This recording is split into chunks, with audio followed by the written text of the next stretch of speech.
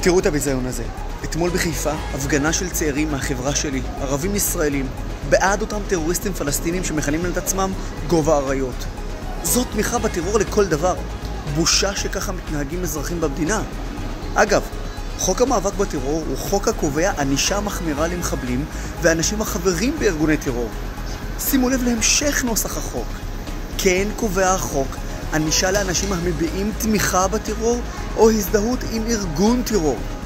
אם זה לא תמיכה בטרור, אז מה זה לעזאזל? על המדינה עוד היום לעצור אותם.